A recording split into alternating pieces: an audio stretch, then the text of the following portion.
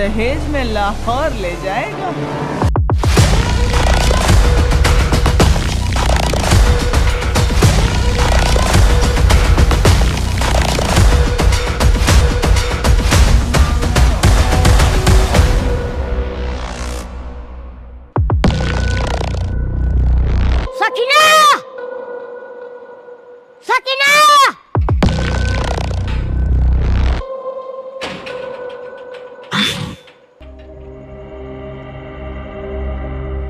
कौन है तू?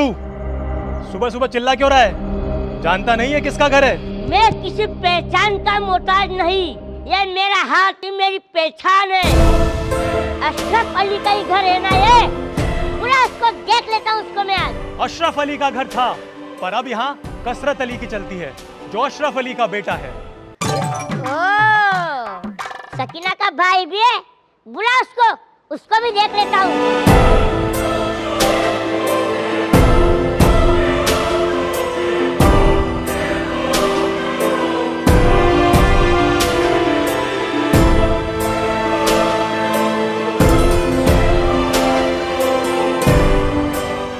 कौन कमबख्त है जो हमारे घर के सामने आकर हम ही को ललकार रहा है? शायद इसे ये नहीं पता कि ये पूरा इलाका मेरे अब्बू का है, जहाँ सिर्फ़ उन्हीं की हुकूमत चलती है। तो तू है कसरत अली? मैं तारा तारा सिंह, लेकिन लोग प्यार से मुझे छोटू कहते हैं। वैसे तूने मेरे बारे में, तेरे बाप से तो सुना ही होगा।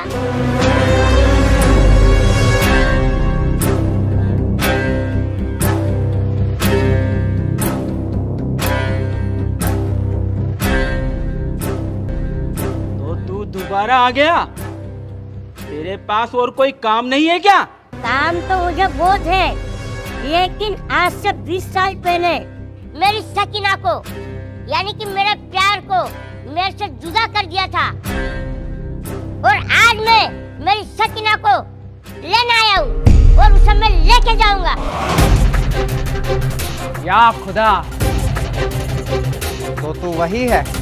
जिसकी वजह से पूरा इलाका प्यासा मर गया था। आज भी तेरी वजह से यहाँ अकाल पड़ा हुआ है। लोग पानी के लिए तरस रहे हैं।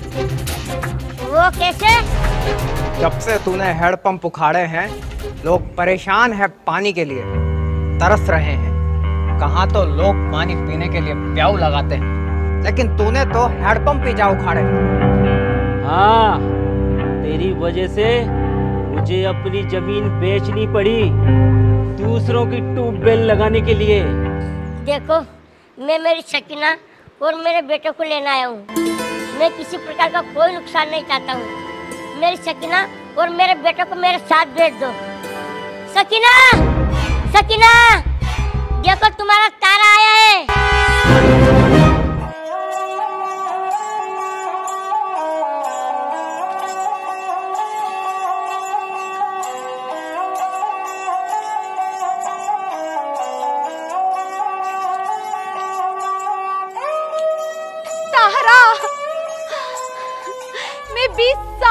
तुम्हारा इंतज़ार कर रही हूँ। मर मर के जी रही हूँ बस इसी उम्मीद में कि तुम आओगे और अपनी सकीना को यहाँ से लेकर जाओगे। हाँ सकीना मैं आ गया हूँ और अब तो अपना बच्चा भी बड़ा हो गया होगा। हाँ बहुत बड़ा हो गया है। तुमसे भी बड़ा हो गया है। लेकिन तुमने ये क्या हाल बना रखा है? कहाँ गया तुम्हारा ढाई किलो का हाथ? छप्पन इंच का सीना। बाहुबली जैसा शरीर और सिक्स पैक जब से तुमसे जुदा हुआ हूँ मैं भी मर मर के जी रहा हूँ। और तुम्हारी याद में मैंने खाना पीना सब छोड़ दिया। फिर मेरा शरीर ने भी मेरा साथ छोड़ दिया। देखो मैं क्या से क्या हो गया हूँ। लेकिन अब तुम मिल गए हो। मैं वापस पहले जैसा हो जाऊँगा। हमारा मिलन होकर रहेगा। और हमें मिलने से कोई नहीं रोक पाएगा। चलो चलते हैं। और अगर मैं तुझे शकीना को ना ले जाने दूँ तो? हट जा। वरना ये ढाई किलो का हाथ किसी में पड़ता है ना। तो उठता नहीं। उठ जाता है। तारा ये क्या कह रहे हो तुम? तुम्हें मालूम नहीं? तुम्हारा ढाई किलो का हाथ अब ढाई ग्राम करेगा। और अब तुम्हारा शरीर बाहुबली जैसा भी नहीं रहा। सकीना तुम चिंता मत करो। मैं तुम्हें पाने के लिए कुछ भी कर सकता हूँ किसी से भी लड़ सकता हूँ। लड़ने के लिए शरीर नहीं हिम्मत और हौसला होना चाहिए। और जो मेरे अंदर पहाड़ जैसा है। देख तारा ये 20 साल पहले वाला माहौल नहीं कि तू आएगा उखाड़ेगा और चला जाएगा। ये मेरा वक्त और मेरा इलाका है। चला जा वरना जाने के लायक नहीं रहेगा।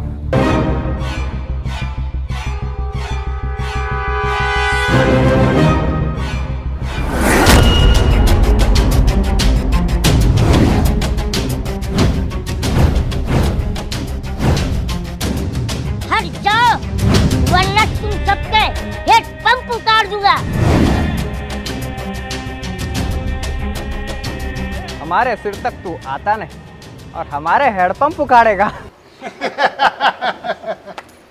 जहाँ तक आता हूँ वहीं से उतार दूँगा।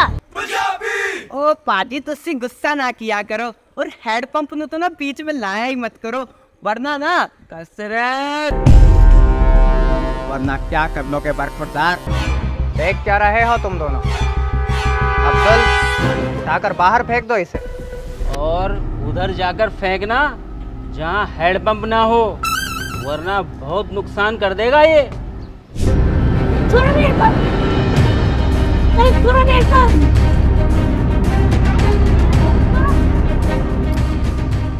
दोबारा दिख मत जाना नहीं तो काट के फेंक दूँगा।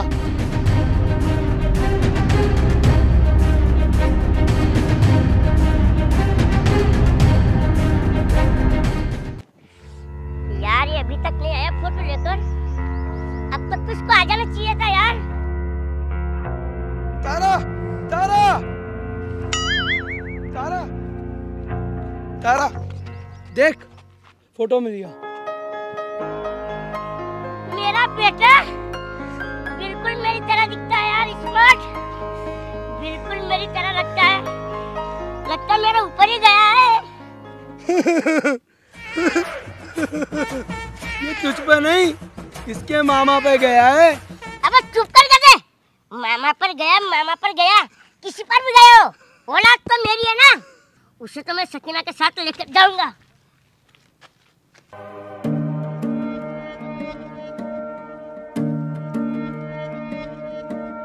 उड़ जा काले कावा मेरे? खंड पावा।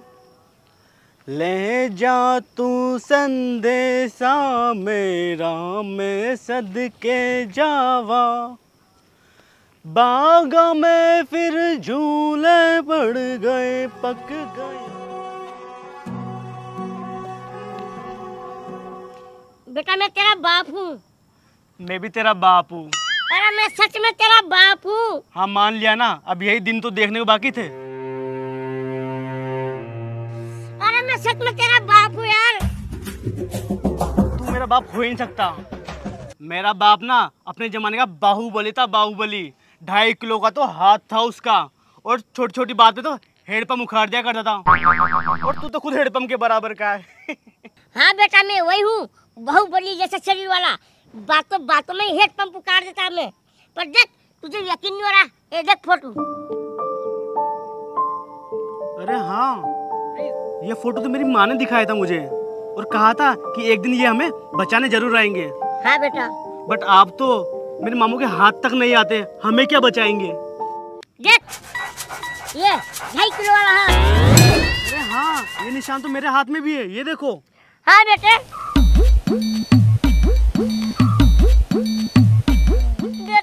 पप्पा पप्पा पप्पा। ओ घर ले चल परदेसी कि तेरी मेरी एक जिंदड़ी।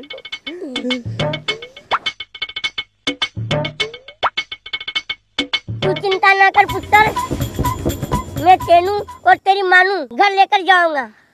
लेकिन कैसे? मामू तो बहुत खतरनाक है। पुत्र मेरी बात सुन। ठीक है तू जा। ठीक है पापा।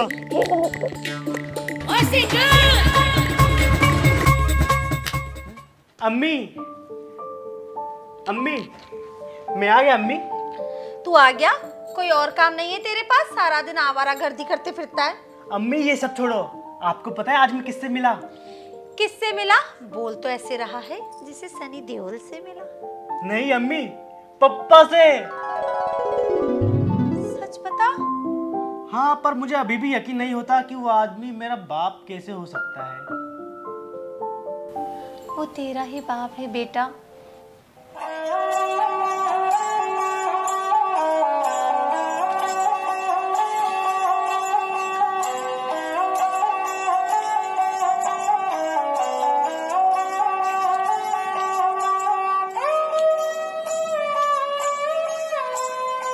अम्मी। अम्मी। अम्मी। हाँ मान लिया। उनका एसएमएस आया है। क्या लिखा है? देख। उन्होंने लिखा है कि कल्लू हलवाई के घर के पीछे वाले मैदान में बुलाया उन्हें। अच्छा? हाँ। ले तू जल्दी जा। अम्मी आप? मैं मैं तेरे नाना को दवाई देके मामा को चाय देके और तेरी नानी की चुट्टी बना के अम्मी जल्दी आना। हाँ तू जा जल्दी जा।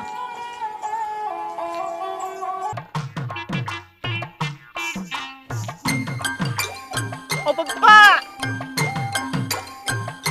ओ पप्पा! ओए पुत्र किधर है तू? ओ पप्पा मैं आऊँ ओए आ गया तू? लेकिन ये क्या कर रहे हो पापा आप? अरे बेटे ये ढाई किलो का हाथ पाँच किलो का बना रहा हूँ मैं। अच्छा। हाँ। मैं ऊपर आ जाओ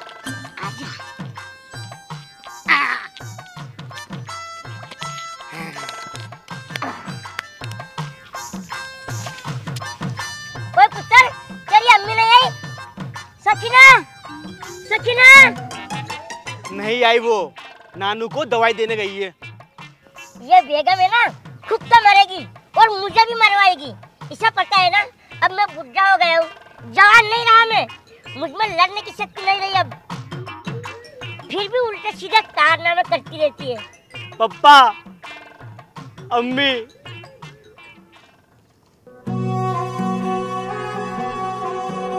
सकीना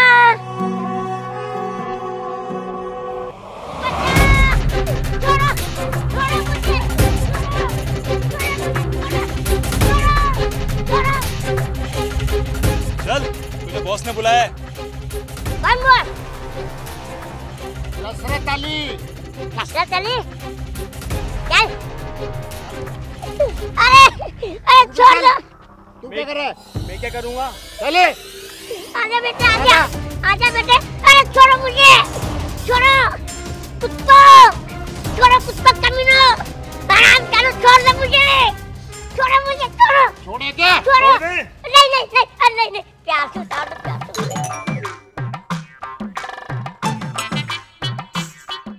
हाँ तुम्हारा बॉस खसरत अली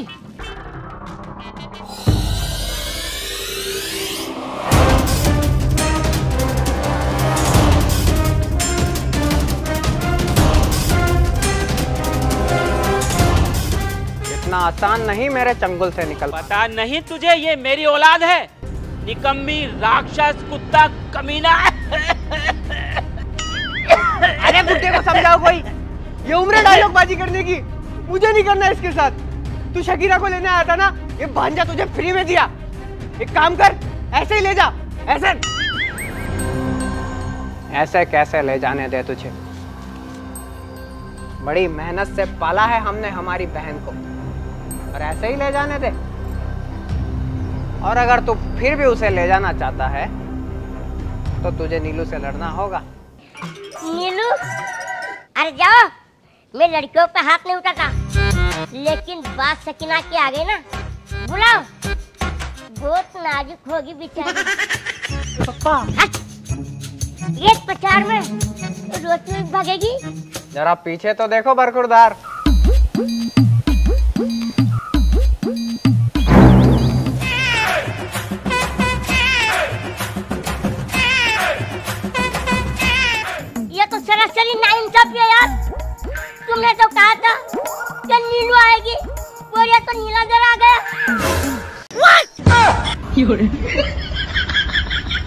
क्या हुआ?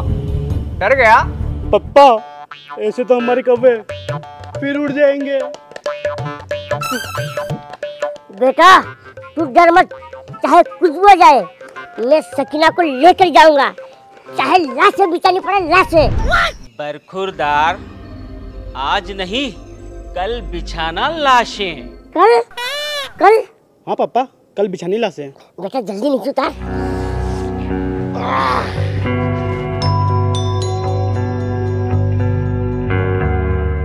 है, कल मिलते हैं युद्ध के मैदान में। नहीं तो आज फिनिश कर देगा फिनिश चल बेटे।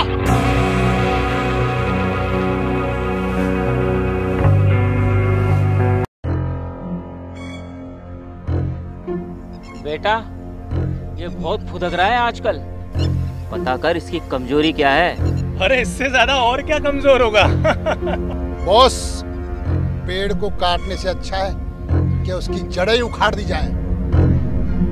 सही बोला तू। और इसकी जड़ें इसके दोस्त हैं। और अगर हमने इन्हें ही उखाड़ दिया तो हमारा आधा काम तो वैसे ही आसान हो गया। हाँ बॉस ये काम अब्दुल और मुझ पर छोड़ दो। जड़ और पेड़ दोनों उखाड़ देंगे। जाओ। और डेढ़ में से एक को खत्म कर दो। Okay okay boss. Boss.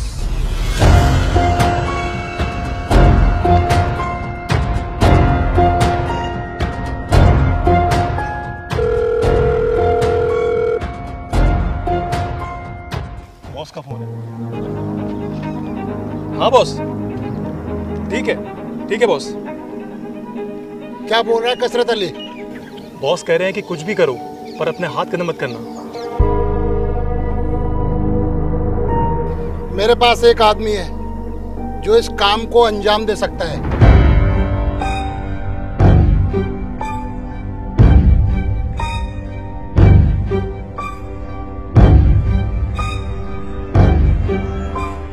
फ़िक्र मत कीजिए जनाब, काम हो जाएगा।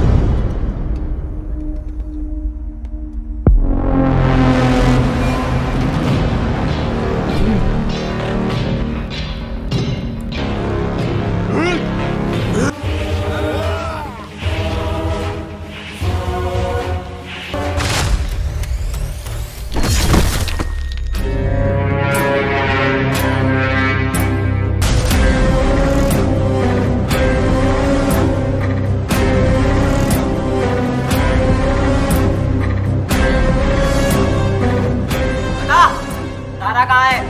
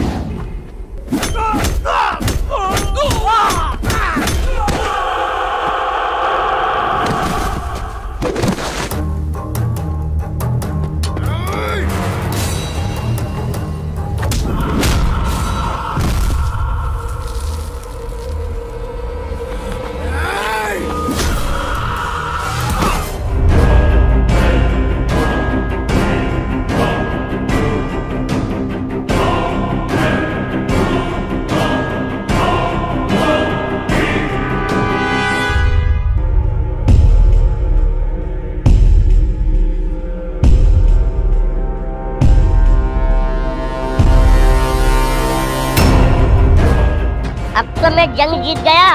अब तो भेज दो सकीना को। जा बेटा जी ले अपनी ज़िंदगी।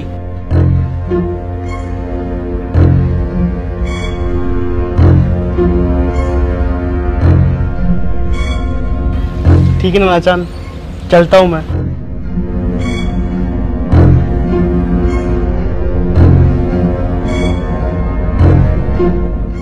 अम्मी जान। मुझे पापा से मिलना है। पापा! चल बेटा चल। अपने देश चल हिंदुस्तान चल।